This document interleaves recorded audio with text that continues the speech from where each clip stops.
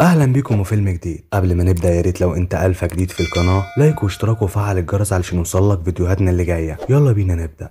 بيبدأ فيلمنا النهارده في كوريا الجنوبية مع شخص كسول جدا اسمه جون وأول ما بيصحى من النوم مش بيلاقي حد من أهله في البيت فبيقرر يعمل العادي بتاعه يلعب ألعابه ويبث على مواقع التواصل بتاعته. بس أصحابه اللي بيلعبوا معاه مستغربين إن هو في أخطر منطقة في العالم وهو قاعد يلعب ومش داري باللي بيحصل حواليه وبيطلبوا منه أصحابه يروح يشوف الأخبار واللي بيحصل في مكان سكنه وبيفتح التلفزيون وبيشوف في الأخبار إن الدولة بتحذر الناس من انتشار الزومبي وبيبعتوا رسائل تحذيرية للمواطنين على تليفوناتهم فبيقرر يبص من البلكونة. لكن بيتصدم جون لما بيلاقي الزومبي محاوط العمارة اللي هو فيها من كل مكان والموت في كل مكان في المدينة اللي بيموت بسبب الزومبي واللي بينتحر. حتى عربيات الإنقاذ بتتقلب وبتنفجر والموت أصبح سهل جدا في المدينة. في الوقت ده شاف جون بنت بتحضن أمها وهنا فرح علشان في ناس لسه عايشة لكن للأسف البنت اتحولت لزومبي وقتلت أمها على طول. وبيروح جون يبص من الباب علشان يشوف اللي بيحصل قدام شقته لكن بيهجم عليه واحد وبيطلب منه إن هو يفضل معاه في البيت لأن أهله اتحولوا كلهم وما عندوش مكان يستخبى فيه. لكن جون ما كانش واثق فيه ورفض إن الشخص يقعد معاه. هنا الشخص طلب إن هو يستخدم الحمام وقال لجون ما تخافش أنا مش مصاب. هنا جون وافق وخلاه يروح الحمام وبيسمع في الأخبار إن أعراض الإصابة هي نزيف حاد في العين والرغبة في أكل لحوم البشر. هنا شك جون في الراجل اللي عنده وطلع يجري مسك سكينة. وأول ما طلع الراجل من الحمام طلب منه جون إن هو يشيل الرباط اللي على إيده. واتصدم جون لما لقى على إيده آثار عض زومبي. اترعب جون جدا وبدأ يطلب من الراجل إن هو يطلع بره البيت. لكن في الوقت ده كان خلاص الشخص ده بدأت تظهر عليه أعراض الإصابة وخلاص اتحول وعلى طول هجم على جون لكن جون في محاولة منه للدفاع عن نفسه سحبه لبره البيت ورماه علشان يتخانق هو وزومبي تاني بره. في الوقت ده بدأ جون إن هو يحمي نفسه وجاب تلاجة حطها ورا الباب علشان يكون من الصعب الباب يتفتح وحاول إن هو يتواصل مع حد من أهله لكن بدون فايدة لأن الشبكة ضعيفة جدا حزن جون جدا لأنه مش عارف يتواصل مع أهله. والدولة بدأت تديهم تعليمات وتعرفهم إنهم لازم يخزنوا أكل لمدة 60 يوم ويأقلموا نفسهم على المدة دي. وبالفعل بدأ جون يقسم الأكل اللي عنده علشان يكفيه ل 60 يوم. لكن للأسف الأكل اللي معاه مش هيكفيه غير 10 أيام بس. وهنا جون حس باليأس جدا من الوضع اللي هو فيه وجات له فكرة إن هو يزرع بذور الفاكهة. لكن الزرع هيطول جدا ولغى الفكرة من دماغه. وتاني يوم وهو بيقلب على مواقع التواصل الاجتماعي لقى ناس كتير بتطلب المساعدة. فقرر إن هو يعمل زيهم. وعمل منشور وبدأ إن هو ينزله. بس برضه الشبكة لسه ضعيفة. هنا جات له فكرة إن هو يربط ال phone بتاعه في الطيارة الدرون علشان يلقط شبكة. وفعلا نجح في كده. لكن لسوء حظه ال phone فصل شحن. ولما بيجي الليل بيشوف شرطية بتحاول تدافع عن نفسها وبتضرب الزومبي بالنار لكن للأسف رصاصها خلص والزومبي هجم عليها وقتلها وجون بدأ يصرخ في الزومبي علشان يسيبوها لكن بدون فايدة. وهنا جات له فكرة إن هو يجيب المسدس بتاعها علشان يدافع بيها عن نفسه لكن فكرة خروجه لبره ممكن تقتله. علشان كده لغاها. هنا الزومبي بيعرفوا مكان جون علشان صوته عالي وبيروحوا يحاولوا يفتحوا الباب علشان يوصلوا له لكن جون فضل واقف ورا الباب وبيحاول يمنعهم إن هم يدخلوا لكن الزومبي كان أقوى منه وفتح الباب وهجم على جون لكن جون شغل دماغه وجري على البلكونة. علشان يخدع الزومبي إن هو هينط منها وبالفعل نجحت الخطة والزومبي رمى نفسه من البلكونة. ورجع جون علشان يصلح الباب بتاع البيت وبدأ يعمل فيديوهات يحكي فيها على اللي بيحصل له الأيام دي. وفي اليوم السابع جون عرف معلومات أكتر عن الزومبي وعرف إن العدوى عن طريق الدم وإنهم بيتذكروا أي شيء بيحصل لهم قبل العدوى. في الوقت ده المية بتقطع عن المنطقة كلها لكن جون بدأ يستخدم الكحول بدل المية وبقى سكران طول الوقت. ولما فاق من السكرة اللي هو فيها دي غطى الشبابيك علشان الزومبي ما يشوفوش. ما خلاش بس غير فتحة صغيرة يراقب منها تحركات الزومبي.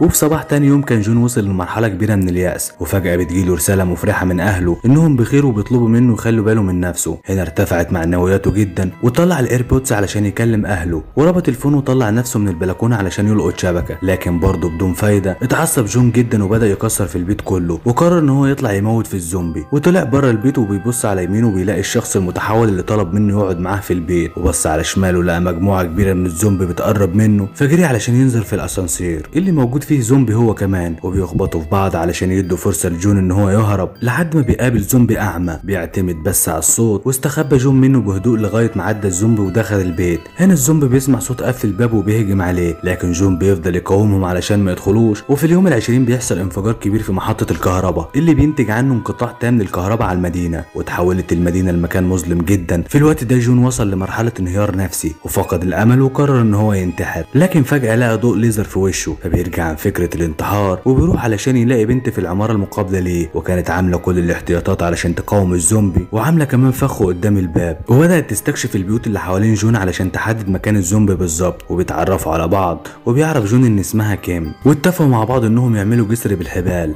علشان يوصلوا لبعض الحاجات اللي ناقصاهم. وكيم بتربط كرة تنس في حبل وبتحاول ترميها لجون لكن للأسف ما وصلتش وبتنزل في الشارع. وأخيرا جون قدر يوصل لها حبل بالطيارة الدرون وبدأوا يتبادلوا الأكل مع بعض. في الوقت ده واحد من الزومبي وصل للحبل اللي رمته كيم وكان مربوط في ترابيزة الأكل وبيشد الزومبي الحبل علشان الترابيزة تضرب كيم وتفقدها وعيها. وبدأ يتسلق على الحبل علشان يوصل لكيم هنا جون بقى يحاول إنه يمنعه وبعت لعند الزومبي الطيارة الدرون علشان تلهيه. ولكن الزومبي مسكها وكسرها واستمر في الصعود لعند كيم لكن في آخر لحظة بتفوق كيم وبتضربه علشان يقع على الأرض ويموت. هنا جون قرر يخرج من البيت علشان يدور على أكل في البيت اللي جنبه وفعلا بيلاقي أكل في التلاجة وكمان لقى معدات كتير هتساعده في إنقاذ حياته وبيلاقي كمان جثه على الأرض ولما بيشيل الغطا من عليها بيهجم عليه شخص متحول وبيحاول إن هو يعضه لكن جون بيهرب منه في آخر لحظة وبيوصل لبيته وبعد كده جون بيبعت جهاز لاسلكي لكيم علشان يتواصلوا مع بعض وكمان بعت لها أكل وبدأوا إن هم يتكلموا فعلا مع بعض لكن فجأة شاف جون الزومبي بيروح على العمارة اللي فيها كيم واتصلت كيم بجون وقالت له ما تعملش صوت علشان ما يعرفوش مكاني. لكن لسوء حظها وقعت الدولاب وخلت الزومبي يعرفوا مكانها من الصوت. لكن جون اتصرف بذكاء واتصل على تليفون جيرانها وخلى الزومبي كلهم يروحوا هناك بدل ما يروحوا لكيم وقدر إن هو ينقذ حياتها. هنا فكروا يعملوا خطة جديدة. لأن قعدتهم كده مستنيين المساعدة مش هتنفع. فقرروا إنهم يطلعوا على سطح العمارة اللي فيها جون. وجون فتح الباب وفضل يضرب في الزومبي. وكيم ربطت نفسها بحبل ونطت من الشباك. ونزلت في الشارع وبدأت تقاوم وتضرب في الزومبي. لكن وقعت في الأرض وهنا شافت المسدس بتاع الشرطية وجريت عليه وبدأت تضرب نار عليهم لكن زومبي منهم هجم عليها وقعها على الأرض. لكن لحسن حظها جون جه وأنقذها. في الوقت ده كان الزومبي حاوطهم من كل ناحية لكن قدروا إنهم يهربوا منه ويدخلوا العمارة. وبيركبوا الأسانسير وبيوصلوا للدور الأخير قبل السطح. لكن الزومبي كان وراهم وكيم وجون كانوا بيحاولوا يفتحوا أي باب من الأبواب علشان يدخلوا ويستخبوا من الزومبي. لكن للأسف الأبواب كلها مقفولة وفي آخر لحظة باب منهم بيتفتح وبيسحب كيم جوه وبيدخل وراها جون كمان علشان يلاقوا شخص عايش وبيقدم لهم مية وبيقول لهم إن الجيش هينزل المدينة ومعاه طيارات إنقاذ كتير علشان ينقذوا الناس اللي ما صابهاش الفيروس. كيم وجون فرحوا جدا لكن ما كانوش واثقين في الراجل ده واستنوه هو يشرب المية الأول وبعدين جون طلب منه إن هو يديهم أكل.